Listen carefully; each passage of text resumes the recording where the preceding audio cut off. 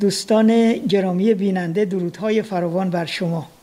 حتما همتون به اندازه کافی راجع به فوت فوتبالیست معروف جهان دیگو مارادونا شنیدید.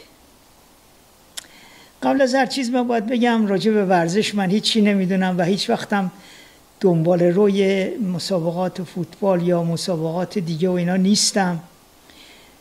دلیلم دلیل خودم رو دارم که چرا این کار رو نمی کنم. چرا راجع به این مسئله در دنیای امروز که اینقدر مطرحه من دنبالش نمیرم. دلیلم این هستش که حالا درست یا غلط. دلیلم این هست که ورزش رو برای سرگرمی انسانها و به قفلت بردن آنها از مسائلی که در دنیا مسائل جدی که در دنیا داره اتفاق میفته اهریمنان دارن ازش بهره برداری می‌کنن. بنابراین من وقتم رو روی اونا نمی‌ذارم. بیشتر مطالعه و مسائل اتفاقات روز سیاسی و اینا برای من مهمتره.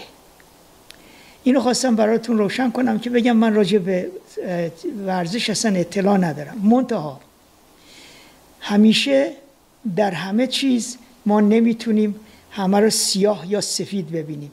در بین اینها در بین کسانی که در ورزش امروز دنیا که کاملا تجاری شده و به بعضی از ورزشکارا که پولهای میلیونی میدن که واقعا اگر یک کارگر زحمتکشی که در معادن در دنیا در همه جای دنیا دارن کار می‌کنن زیر زمین هر لحظه جونشون در خطره. اگر تا آخر عمرشون هم کار بکنن هیچ وقت یه همچین پولایی نخواهند گرفت. به علت همین بیعدالتی هایی که در دنیا هست من نمی‌تونم قبول بکنم که یک کسی رو با پولهای زیاد قهرمان بکنن و از کنارش هم برای فریب مردم و مردم, مردم رو در قفلت نگه داشتن و سرگرم کردن داشته باشن و هم ازش بهره برداری های مادی هم بکنن به هر جهت من می‌خوام راجع به این دیگو مارادونا صحبت کنم برای چی؟ برای اینکه این یک انسان واقعی بود و از مجله هفته براتون می‌خونم که ببینید مجله هفته راجع به این چی گفته. مارادونا مانند دیگر بازیکنان فوتبال نبود. او یک بازیکن استاندارد نبود که حقوقش را بگیرد و برای کشورش افتخار آفرینی کند. او پله نبود. او سرکش و آسی بود و شیطنت ها و روحیات دیوانوارش محبوب محبوبترش می‌کرد.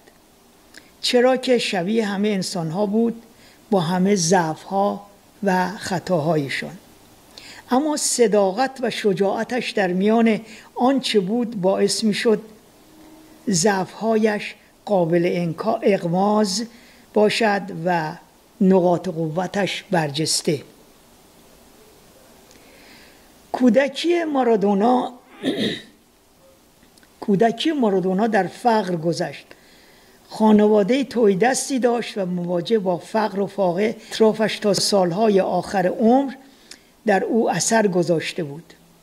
او همچنین مانند بسیاری از مردمان آمریکای جنوبی دل خوشی از ایالات متحده و اروپای غربی نداشت.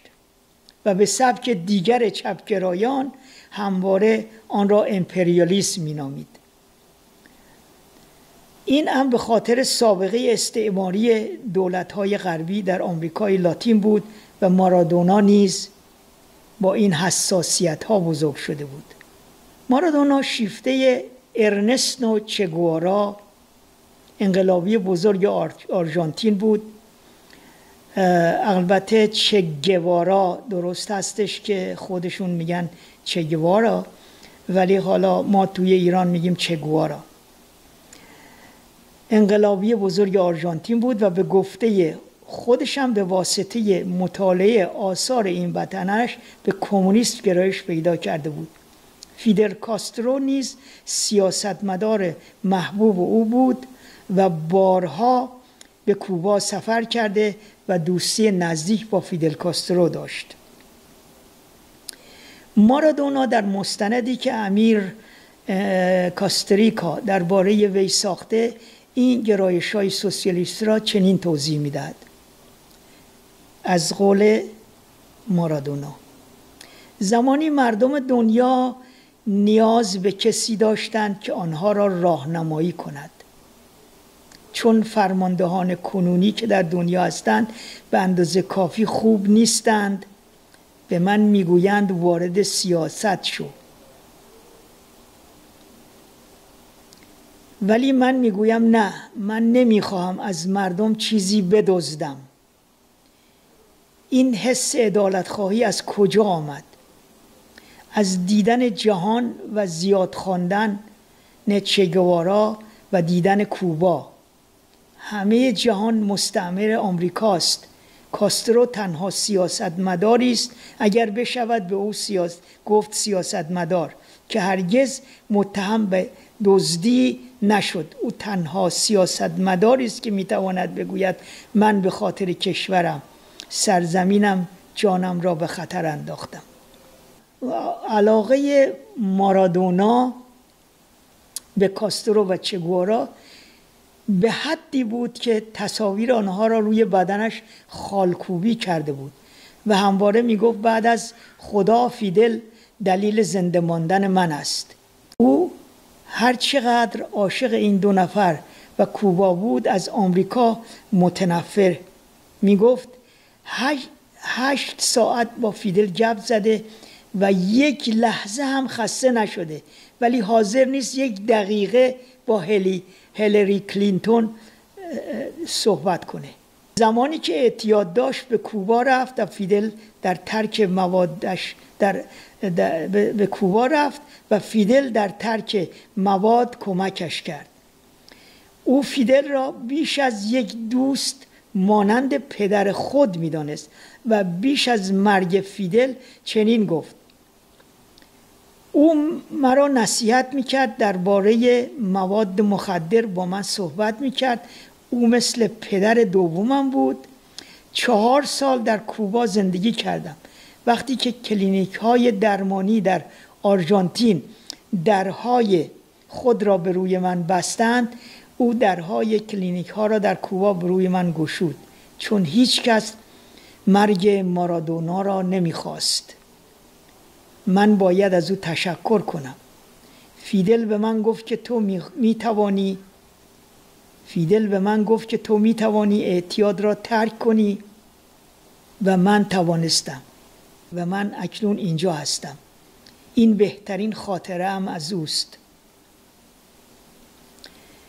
پس بهترین خاطرش از فیدل کاسترو این بوده که نصیحت می‌کرده که یک انسان خوبی مثل تو نباید گرفتار مواد بشه. و امیدوارم تمام دوستانی که ذره ای از انسانیت در وجودشون هستش یک وقتی به طرف مواد مخدر نرن. مواد مخدر از طرف امپراتوری انگلیس از زمان چین جنگ تریاک و قبل از اون اینا در انحصار امپراتوری انگلیس بود و هست و هنوزم این امپراتوری انگلیس پشت چهره آمریکا به اسم دموکراسی و آمریکا قایم شده و هنوز هم دراگ دراگ یعنی ببخشید منظورم مواد مخدره. هنوز اینا رو در مونوپولی خودش داره تا مردم دنیا رو آلوده به اون بکنه و آلوده بکنه به ورزش های تجاری که مردم غافل باشن از اینکه بهشون در دنیا داره چه میگذره که ما به امروز به اینجایی رسیدیم که دوستان عزیز می‌بینن. به اینجایی رسیدیم که تمام امیدها رفته.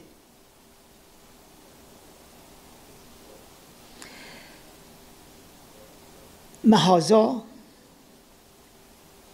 ما نباید امید رو از دست بدهیم.